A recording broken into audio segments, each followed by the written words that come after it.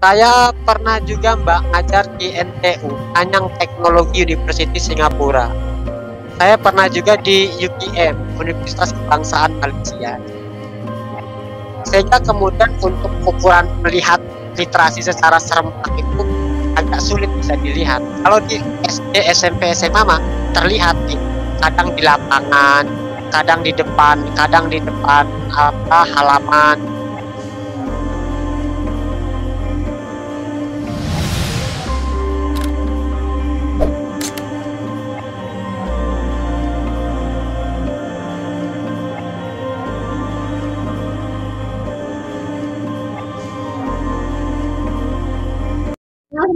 untuk duta literasi udah sejauh mana? Dari dari tahun berapa Mas Rahmat? Saya dari tahun 2018 sampai sekarang Mbak Siti. Berarti duta bahasa untuk semua level ya Mas Rahmat ya? Ah, ah, di provinsi di provinsi Banten. Kalau di nasionalnya ada Najwa Shihab kalau di nasional. Nasional Oh. itu duta baca nasionalnya Najwa Shihab. Kalau saya di Hmm. provinsi Banten. Oh, udah udah ke mana aja nih kalau yang kampus selain ngajar? Saya pernah juga Mbak ngajar di NTU, Nanyang Teknologi University Singapura. Saya pernah juga di UKM, Universitas Kebangsaan Malaysia. Jadi beberapa luar negeri juga saya datang. Enggak enggak kalau di Banten di Banten sendiri di Banten sendiri. Kalau di Banten itu hampir semua perguruan tinggi di Banten pernah saya Udah. Oh.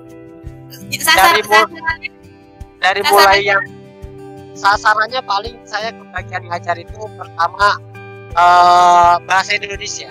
Mm-mm. bahasa Indonesia kalau buat bahasa Indonesia kalau biasanya di etika profesi guru begitu tapi di ranah ranah pendidikan saja kayak misalkan metode kayak, kayak misalkan selain etika profesi media pembelajaran Mm-mm. jadi di ranahnya ranah, ranah pendidikan masuknya gitu Oh, kalau untuk ini untuk level SMA anak-anak siswa SMA SMP gitu? kalau saya siswa SMP dan SMA itu dari sejak tahun 2000 sampai sekarang Nah, Oh, saya ngajar juga di SMP SMA ngajar juga Oh. Kalau dibandingkan untuk literasinya anak SMP sama anak mahasiswa gimana, Mas?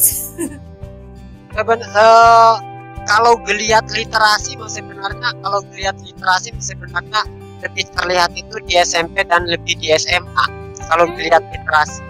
Karena geliat literasi di SMP dan di SMA itu ada yang namanya kegiatan-kegiatan pekan literasi.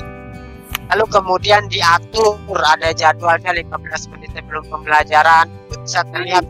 Kalau di kampus itu kan karena komunal karena Hmm, komunal orangnya juga ini nggak terlihat nggak terlihat eh, ada kegiatan itu atau tidak kecuali barangkali mereka masing-masing.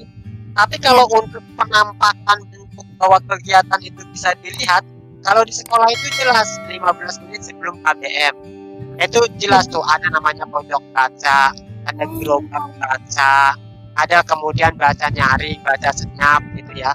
Karena itu jadwal sehingga kelihatan. Tapi kalau mah sejauh ini kayaknya masing-masing aja itu mbak Oh, karena kalau di SMA, SMA, anak-anak sekolah itu kan masuk ke dalam ini ya, apa namanya? Hmm, masuk ke dalam apa RPP kan? RPP iya jadi dia harus harus tersurat gitu ya, terus Ya. harus 15 menit di awal ya biasanya kalau kalau ini ya kalau untuk anak SMA. Itu alasannya kenapa ya kalau eh, R- bukan RPS di kampus tuh namanya apa ya? Kenapa gak tersurat ya? mungkin Iya. karena karena sudah dewasa itu sehingga kemudian Pedagogi ya. aturan membaca menulis literasi itu sehingga kemudian dibebankan kepada eh, kapan pun dan di mana pun mahasiswa berada dia harus bertugas sehingga kemudian untuk ukuran melihat melihat literasi secara serempak itu agak sulit bisa dilihat kalau di SD SMP SMA mah terlihat nih kadang di lapangan kadang di depan kadang di depan apa halaman kadang di masjid. Jadi terlihat ada literasi agama misalkan dari hasil bacaan mereka dipidatokan gitu kan. Lalu kemudian ada juga literasi gitu ya. Kalau di kampus agak bingung me- melihatnya itu agak bingung. Kecuali Nah, barangkali Jadi sebetulnya kalau melihat kondisi literasi di anak mahasiswa kayaknya perlu juga ya dibuat uh, kayak anak sekolahan gitu. Jadi di, di, di apa ya distrukturkan gitu ya, dikondisikan. Mungkin uh, ada ini Mas bisa dibikin tuh maksudnya uh, diuji coba tuh di, di salah satu kampusnya Mas Rahmat yang saat itu dipegang gitu. Yang satu dikondisikan, yang satu enggak gitu. jadi jadi kalau kita sih melihatnya bahwa ada pojok kaca, ada gerobak kaca, itu ramainya tuh di level SMP SMA ramainya. Tapi kalau di kampus saya jarang melihat sih mbak, jarang melihat misalkan ada pojok kaca, lalu buku berjejer di samping di depan depan, ruang perkuliahan tuh hampir nggak nemu. Gitu. Tapi kalau di tapi kalau di bidang SMP SMA saya sebagai saya juri sekolah literat di kota Tangerang. Saya saya juri sekolah literat di kota Tangerang sekolah-sekolah yang hebat di Tangerang. Jadi memang mereka uh, menyiapkan itu. Jadi setiap lorong kelas itu pojok bacanya ada di situ ya. Lalu di dalam ruang kelasnya juga ada ya. Masing-masing kelas menyiapkan pojok baca tapi kalau di kampus sejauh ini saya belum pernah melihat tuh dia ada pojok-pojok baca pojok-pojok.